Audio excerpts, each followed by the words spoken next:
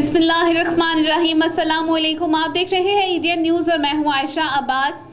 سیالکوٹ کی تحصیل ڈسکا میں terror magic group کی جانب سے بچوں کے لیے میجک شو کا انعقاد کیا گیا۔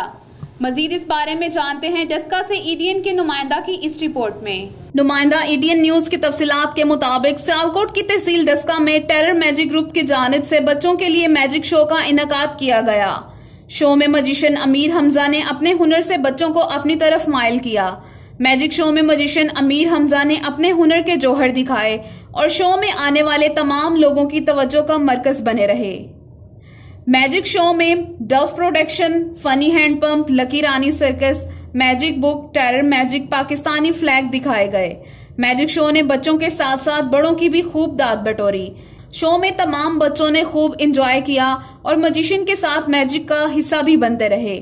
مجیشن امیر حمزہ نے ایڈین سے خصوصی گفتگو کرتے ہوئے کہا کہ اس طرح کے شوز ہونے چاہیے تاکہ بچوں کو ریلیکسیشن کے مواقع حاصل ہوں۔ میں نے یہاں پر ایک فیملی ایونٹ رکھا ہوا تھا۔ بہت انجوائے کیا بچوں نے۔ پہلا شو ہمارا بہت ہی کامیاب شو ہوا۔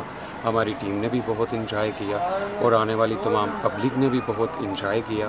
یہاں سے بہت ساری فیملیز خوش ہو کے بہت اچھے کمنٹس دے کر گئی اور انہوں نے P D N news channel کا بھی شکریہ ادا کیا کہ انہوں نے ہمارے ساتھ ساتھ بچوں کو بھی یاد کیا، آپ سب کا، آپ کے چینل کا بہت بہت شکریہ۔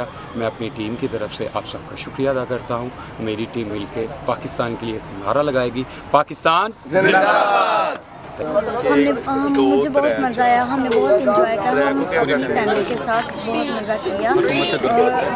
حکومت سے درخواست ہے کہ اس طرح کے شو ہونے چاہیے اور بچوں کو بھی ایکٹیو رہنا چاہیے۔ موجودہ حکومت سے گزارش کی اس قسم کے شوز کو سراہا جائے اور اس کے لیے اقدامات کیے جائیں۔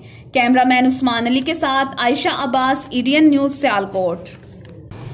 ڈسکا سے اہم خبر شامل کرتے ہیں۔ پی ٹی سیل کا ڈسکا کے علاقہ میں بڑا سکینڈل پکڑا گیا۔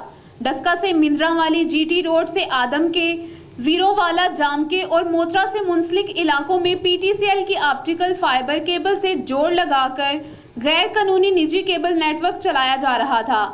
مزید اس بارے میں جانتے ہیں ڈسکا سے ایڈین کے نمائندہ کی اس رپورٹ میں۔